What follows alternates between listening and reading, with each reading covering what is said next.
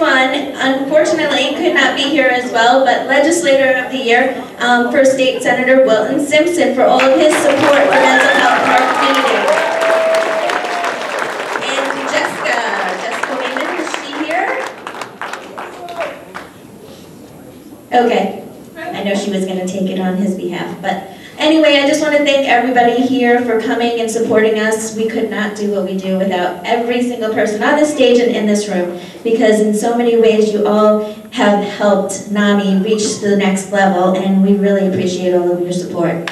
Wow. Now for the results. Uh, One last thing here, and I I really want to thank, uh, I think so. But uh, all of the volunteers and and particularly John that